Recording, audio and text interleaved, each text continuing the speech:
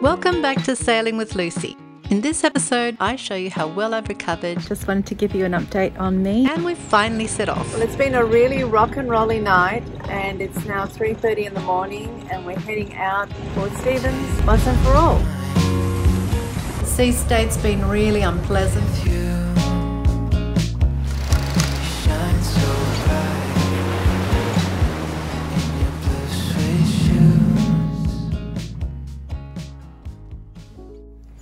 Hi everyone, just wanted to give you an update on me and uh, my progress since my op uh, to remove that suspicious mole from my nose.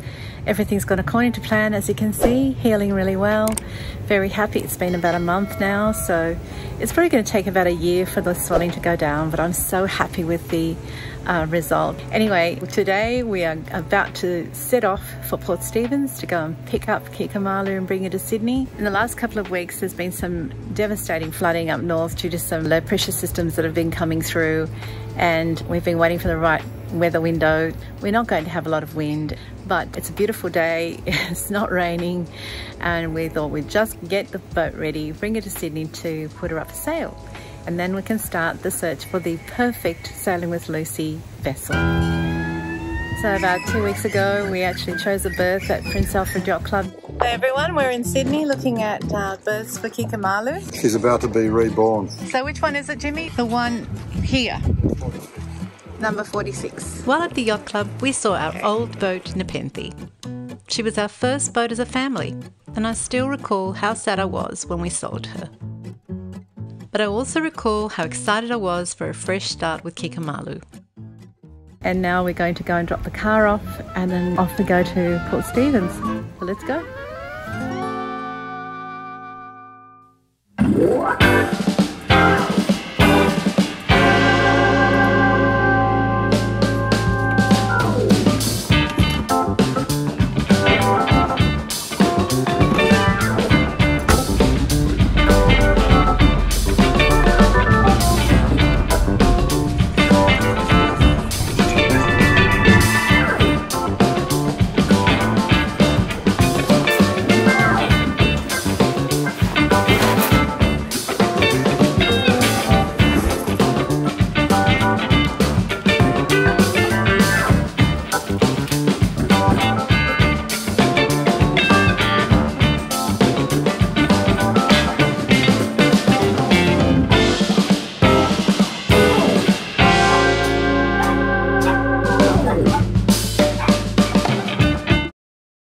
The weather prediction was for a couple of fine days.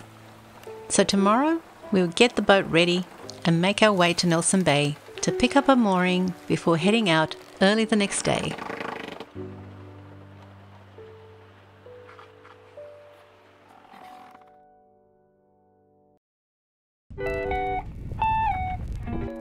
We're expecting fine weather tomorrow and not too much spray. So to prepare Kikamalu for the ocean, we're removing some of the clears. The ability to set up a cockpit to provide protection from the sun, wind driven spray, or rain is a great feature in our opinion, not just for comfort, but also for safety. We all get enough sun exposure just from the reflection off the water, so shades, in our opinion, are essential.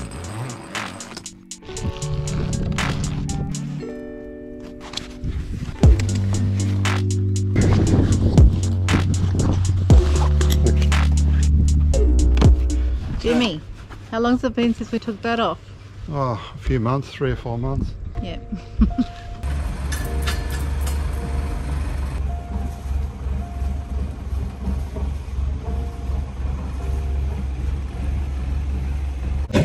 We're heading out. Can't believe it. After over two years, this is the day.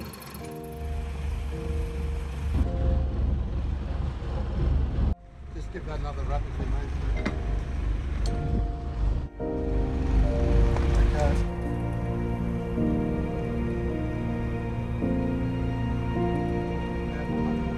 Yeah, I'm holding.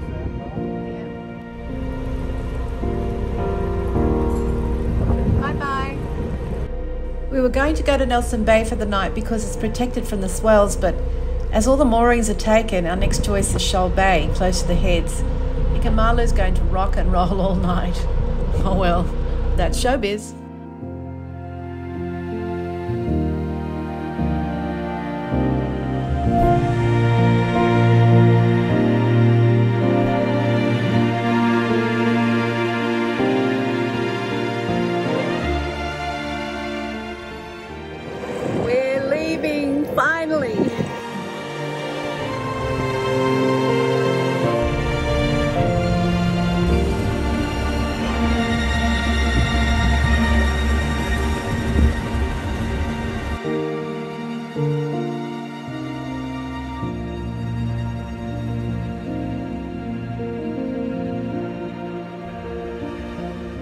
Over the last couple of years, with lockdowns and border closures on and off, every time we sailed to this point, I'd get this irresistible urge to just keep on sailing through those heads.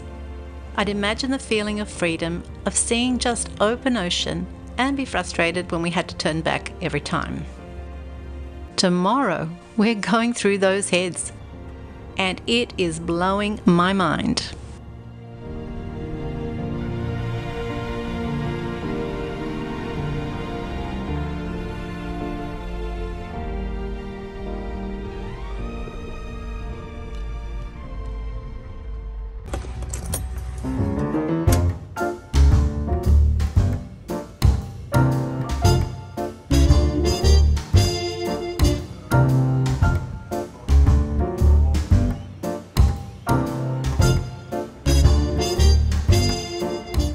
Told you'd be rocky and rolly.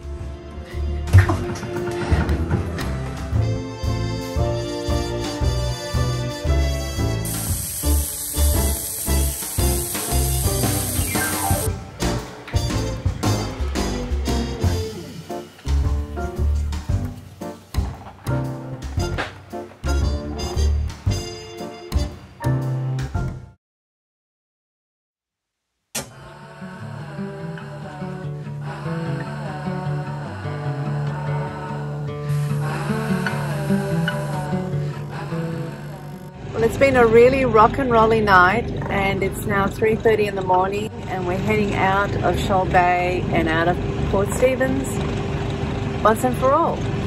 It's been wonderful being here, but it's going to be great to go to. So, yeah. Say this nice, tell it in a letter, stamp and mail it out. Going out of the heads was a messy business. The forecast was for 2 to 3 metre swells from the southeast and northeast. There's also the East Australia Current, which runs southwards generally along the coast, but it does some funny things once it reaches south as far as Port Stephens. Not to mention that the tide is going out. This means we ended up with two swell directions combining and a 3 knot current from varying directions creating a messy ocean, particularly when the larger 3 metre swells met each other's paths. Jim kept close to Yacaaba Head, and we were hoping that the sea would flatten out a little once we were a few miles from land. Jim's just put the main up.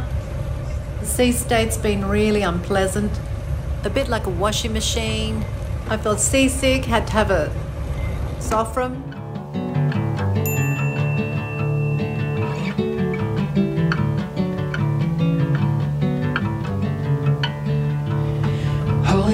Ghost, heavy as a feather, as the driven snow. But watch your back, it's heartbreak weather. I think it's time to go. My mind's made up. My mind's made up. We keep doing this, but nothing's getting better. So I'll stand up and walk out and make my way alone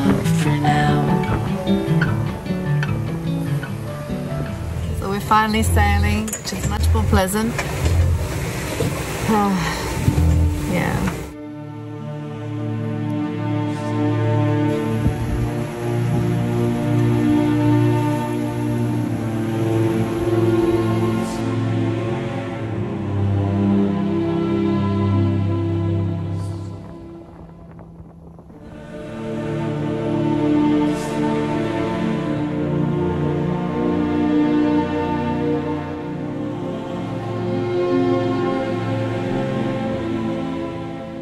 When we set out from Sydney in 2019, I tried to explain the call of the sea.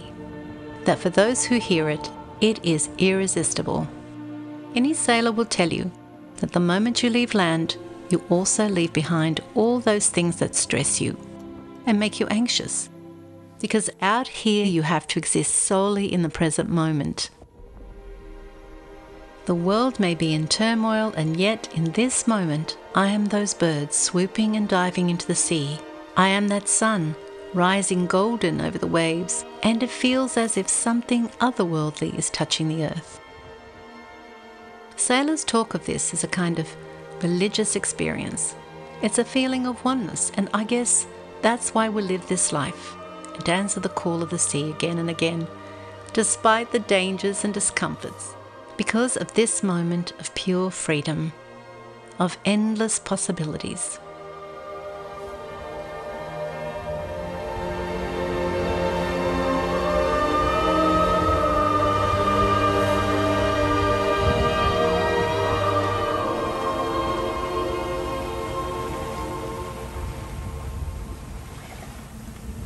Despite feeling queasy, I can hear that call, and I'm grateful to be out here, answering it.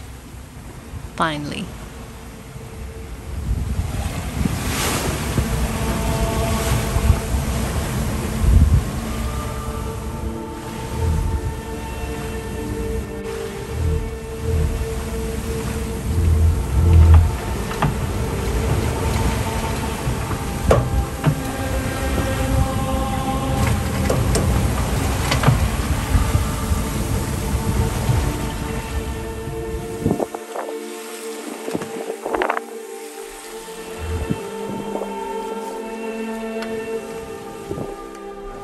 Been travelling since about 3 a.m.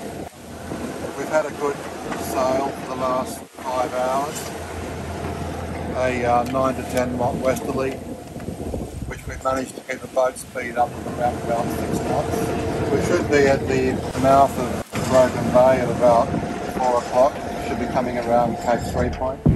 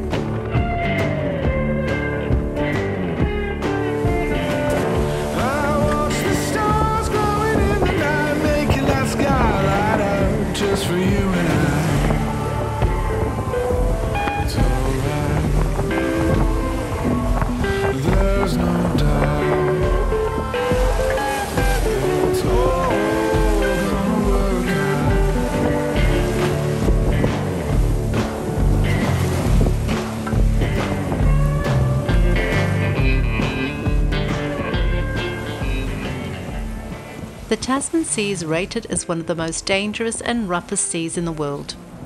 Referred to as the Ditch, it sits between Australia and New Zealand and is 2,000 kilometres or 1,200 miles across and about 2,800 kilometres or 1,700 miles from north to south.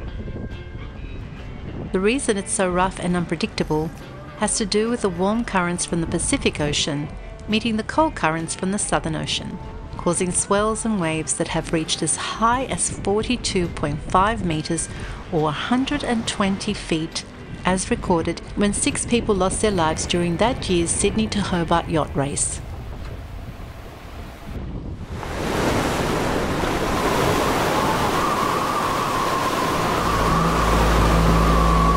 The wave's picking up 25 tonne a boat and just hurling it.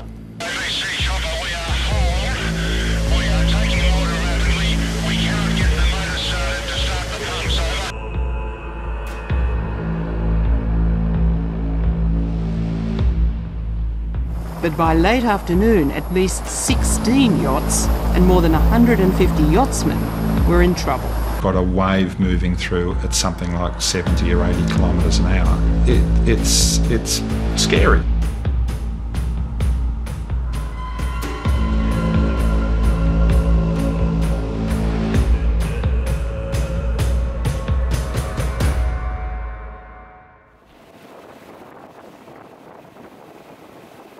There are experienced sailors who circumnavigated the entire world without any problems at all until they got to the Tasman Sea. And knowing this is why so many who've travelled the milk run from the Americas to the South Pacific sell their boats before reaching New Zealand. It has had its share of shipwrecks. And it's why any sailor, no matter how experienced, should always be wary sailing her. Can you set the autopilot, please, honey?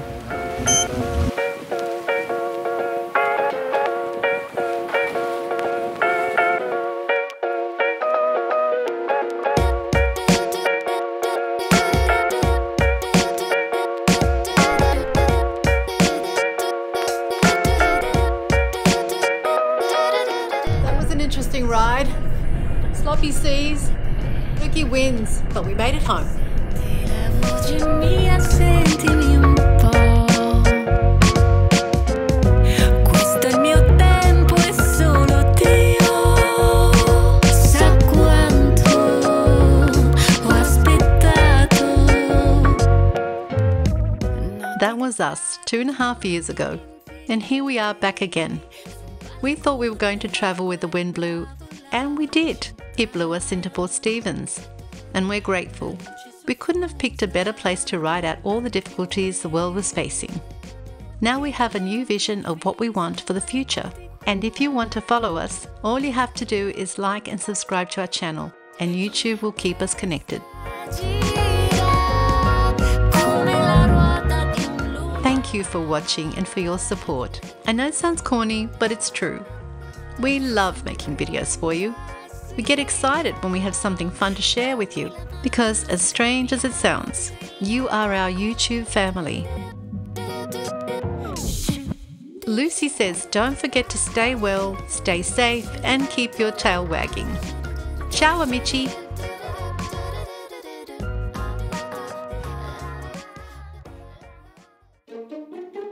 Hi everyone. Lucy and I have a confession to make about living on land after six years on a boat. Don't we, Luce? It's very strange. We don't like it, do we? No. No. We want to go home. Yeah. It's only been six weeks. Anyway, thanks for listening. We feel better now. Bye.